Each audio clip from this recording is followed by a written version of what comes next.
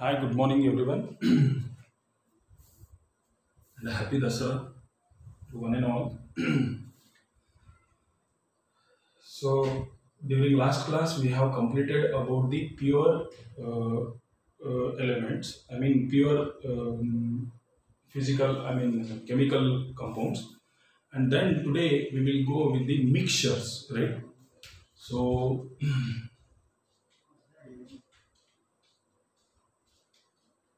mixtures the name itself indicates what are mixtures right? So mixtures are nothing but more than two compounds one we can say. If you if i say sugar is a mixture then it will be very wrong. Why? Because it is a single component.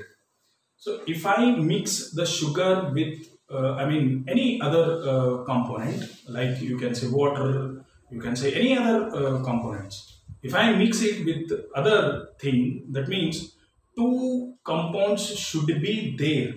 Then only one we can say about the mixture. So dear student before going to the mixtures and it, its type see let us see, uh, see some examples. Say for example there is a vessel. In that vessel there is some amount of water. In that water i ha- am adding a mud. Right? And now there is one more vessel and in that vessel the same water is there and in that I am adding what? Sugar or salt. You can take anything. Right? So say this is a case A and this is case B. So now see here what I said if I mix one component with the other then only one we can say that is a mixture right?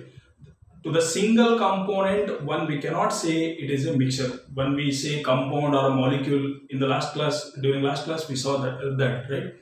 When we can say that is a what a compound or a molecule depending on the uh, uh, I, I mean elements mm, combining element. If the same element are combined then molecule if the different they are compound if the same element is present uh, i mean same substance is present then that is called as an element likewise. So now here we are adding two different compounds and we are mixing it. So that's why these are as these are uh, definitely these are the mixtures. But in mixture see here one we can uh, uh, what? Classify these mixture into two type right? See what i did in case one i have added some mud right? And in second one i mean in b i have added sugar. What happens in case of a is here one we cannot clearly see right?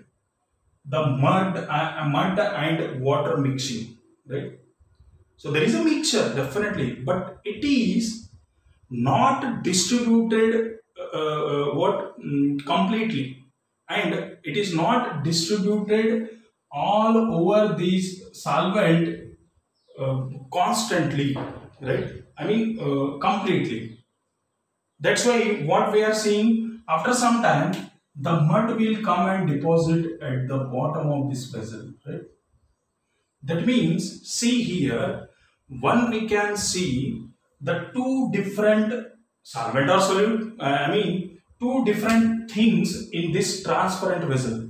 Is it or not? Right? Understood. I mean after some time it is not equally distributing overall uh, uh, i mean the amount of water uh, solvent uh, as a solvent what we took it is not distributing constantly. After some time what is happening? The mud is settling down settling down at the uh, i mean at the bottom of the vessel transparent vessel. And clearly one we can see what mud and water separation. That means it is not same overall. That means what we can say heterogeneous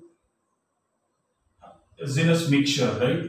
Heterogeneous mixture. Hetero means what? Different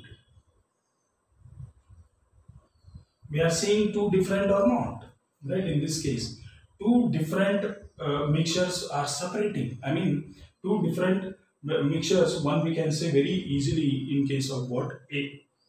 This is one type of mixture that is called as heterogeneous mixture. And coming to the next one, that is after adding sugar, after some time, what happens, right? Uh, once uh, one one we can uh, what mix it, right? After mixing, what is happening?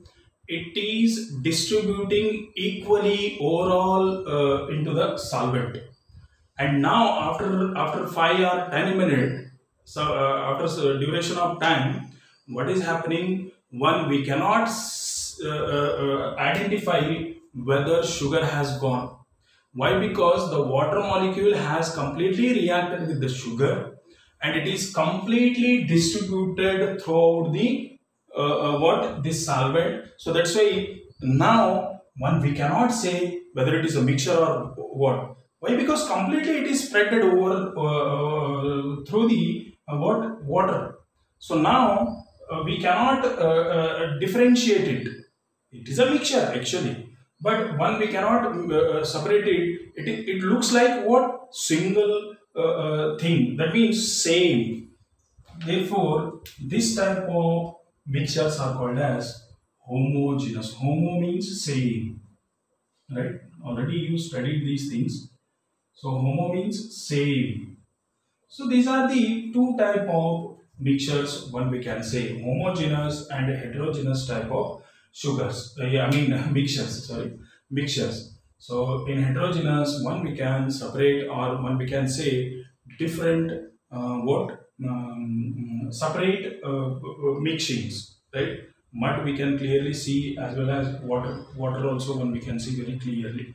But in case of this, I mean in B, what is happening? The sugar and water molecule they are reacting and and the sugar is spreading equally or distributing equally into the water. So that's why that water looks like a same. I mean, the mix, even though it is a mixture, but it looks a single component. So that's why uh, that's why we call this as a homogeneous type of mixtures, right?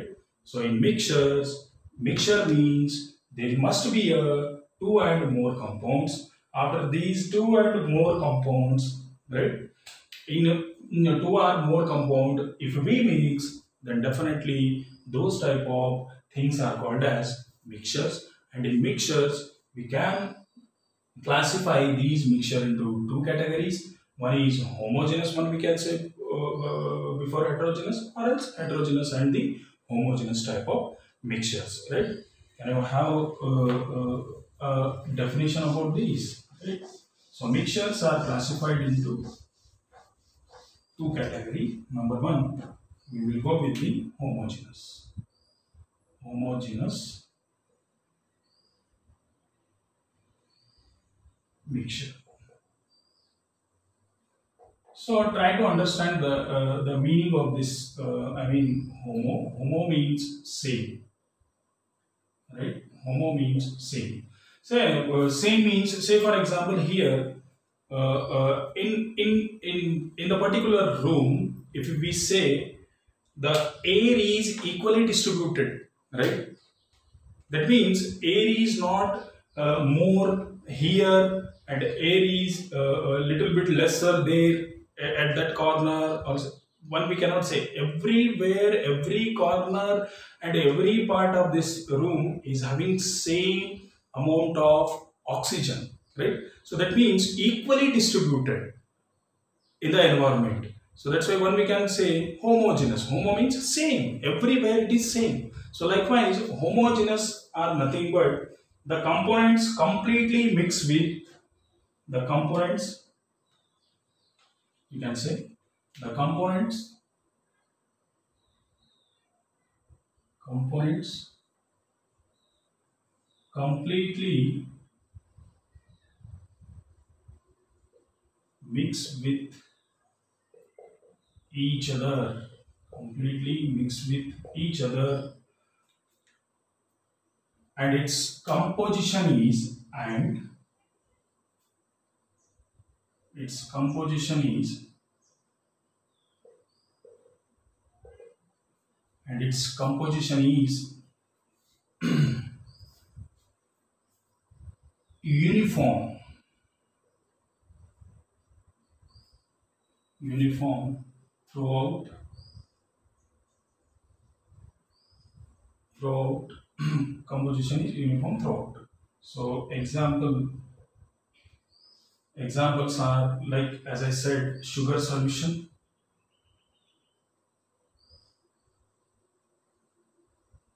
in tomorrow's class we will see what are solution solvent right sugar solution and air right as i said air is equally distributed uniformly so now if you are if you have not understood this then what we can say components the components completely mix definitely we saw in case of b type of uh, example. Completely the sugar is mixing with uh, water molecule one point.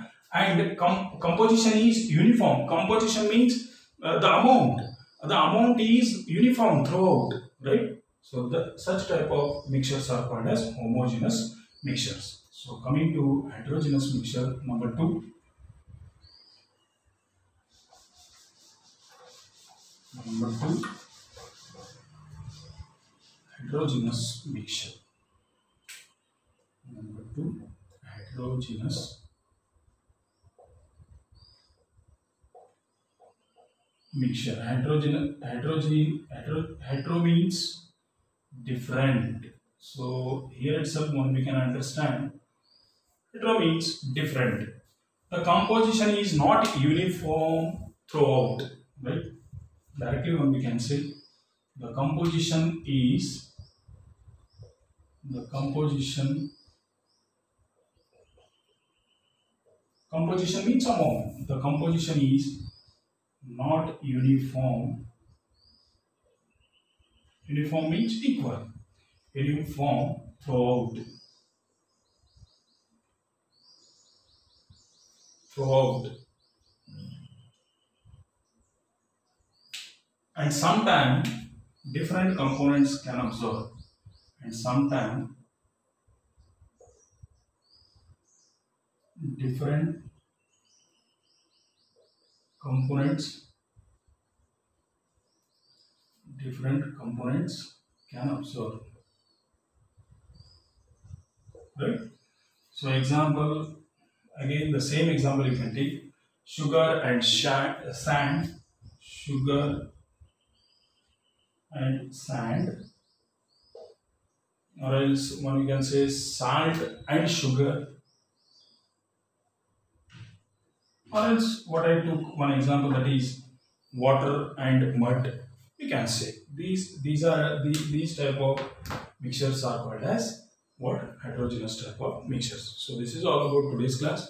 During next class we will uh, see some what is solution solvent solute and then thereafter we will see some again basic things. Mass weight volume density rate. You already studied uh, in, in your physics. Then also when we will go once again right with the chemistry. Thank you